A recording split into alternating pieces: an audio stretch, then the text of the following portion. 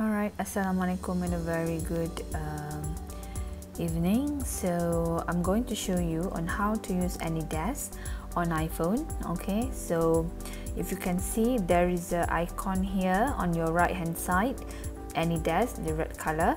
Alright, so um, you can use this uh, application if let's say you do not have laptop or desktop okay? Just in case you only have phones all right uh, so you need to uh, tap on the application. And if you can see um, there is your address and also remote address. So your address is your AnyDesk a remote address should be your friend's AnyDesk address okay? Or your lecturer's AnyDesk address. So they, their address should be nine numbers too or nine digit okay? So I'm going to key in the number here. For example mine would be 83506298 okay? So um, if you can see there is a connect icon so you click connect okay?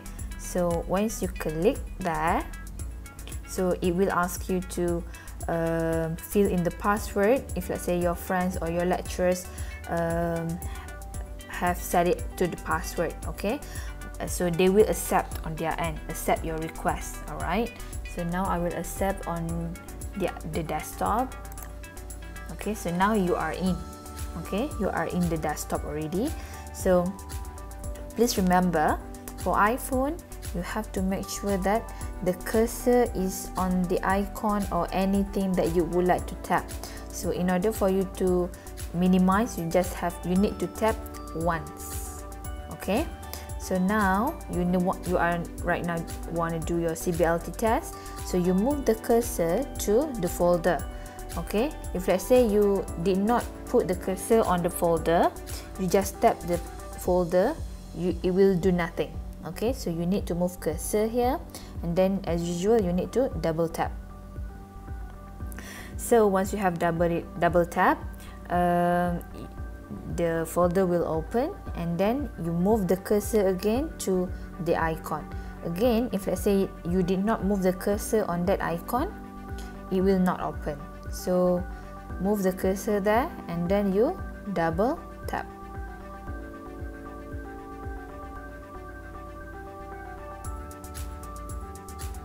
Alright, so now you are in the system already. So please remember for ID or serial number, you have to know your lecturer's ID. Okay, so please remember before you start your CBLT test, go and ask your lecturers their ID so that it will be easier for them to retrieve your marks later. So move the cursor here and then one tap. Okay, so now in order for you to uh, get the keyboard because right now there's no keyboard uh, icon so you need to drag your hand whether from left to right. Can you see the icon here? A few icon. Alright. Or you can also drag from right to left. Okay so the same icon. Alright so for example here so you key you you press on the keyboard show keyboard there. Okay so you key in your lecturer's ID okay? So I'm going to use the dummy address the dummy sorry the dummy instructor login alright? So here the cursor move it here and then you one tap okay? So it's correct ID number. Again if let's say you click OK with your finger it cannot okay? So you need to move the cursor and then press one tap once okay? So you move here and then tap once also okay? So please remember to fill in your uh, student ID and then your IC without the dashes alright? So move the cursor here tap once show keyboard as usual and then key in your ID I'm going to use the dummy ID also move the cursor tap once here show the keyboard again key in your IC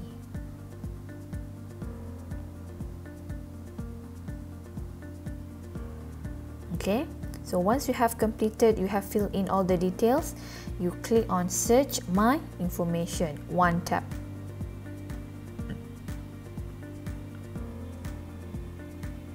Okay so your all all your details are there okay and please remember if you can see here instructor one uh, if let's say you want to know whether you have key in the correct ID or not your lecturer's ID you can see their names here.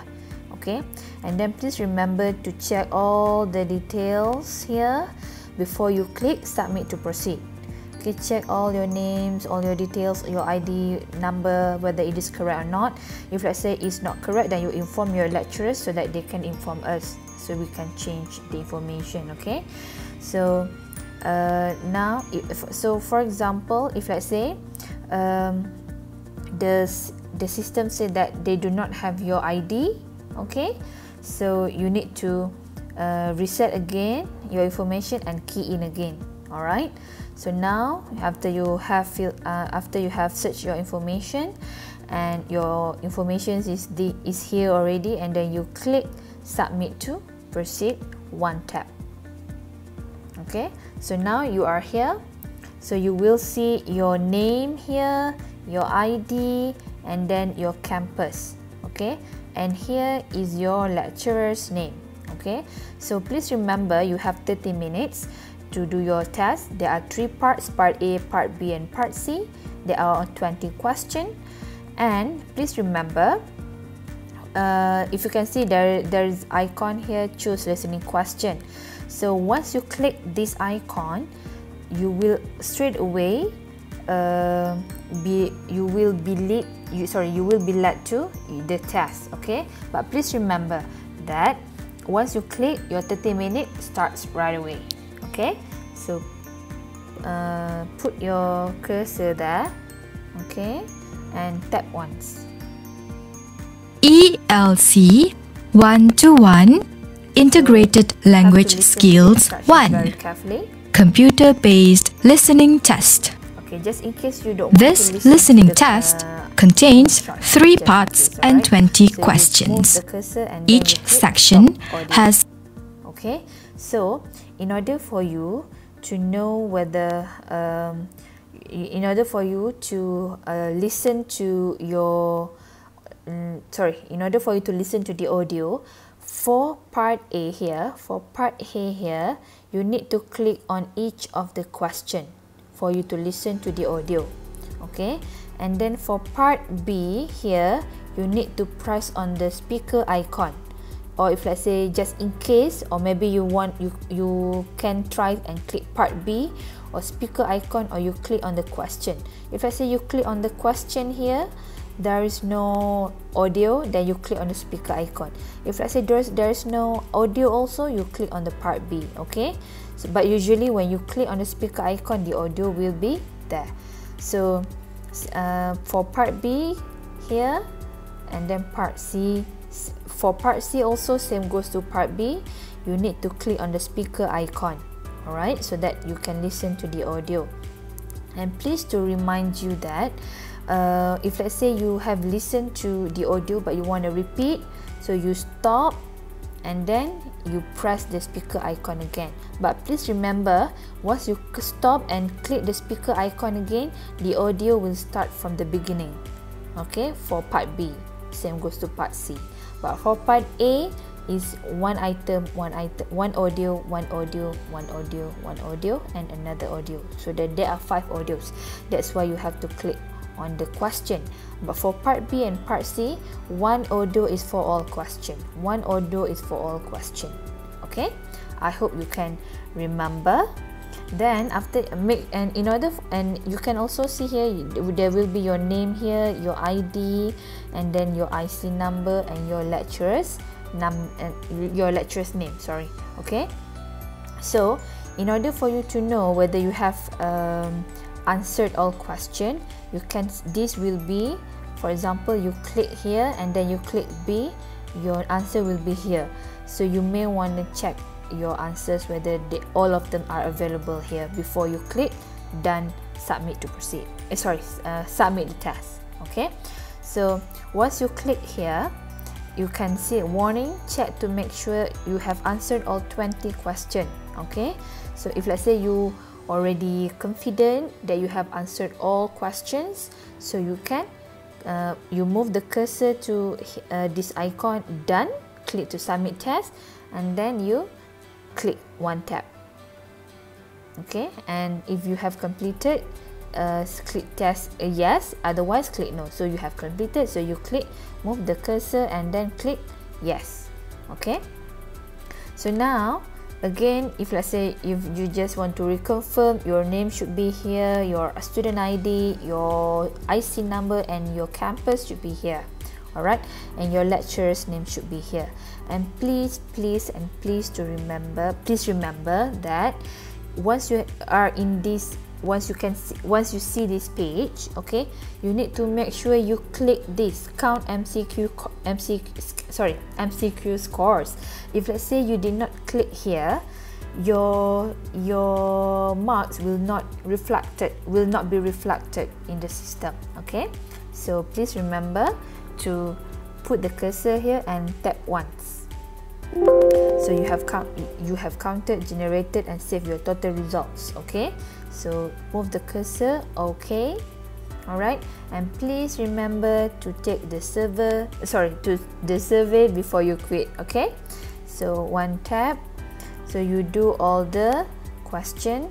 So you tap here. So there will be uh, the question and then you have to choose which whether you agree disagree or whatsoever your responses. So once you have completed then you click here. Done. Click to submit so you want one tap there and then yes one tap there. Send the survey responses here. One tap. And then move the cursor here. Okay. So once you have completed everything you may want to click quit. So basically you have completed your CBLT test. Alright. So I really hope this uh, tutorial will help you to do your next CBLT test okay? I think that's all from us from our team. Thank you so much. Assalamualaikum and have a nice day. Thank you. Oh, sorry, one more thing. I forgot to inform that if let's say you want to disconnect or you want to um, go up from this AnyDesk, you just um, you just like go up from the um, application. As simple as that. Thank you so much.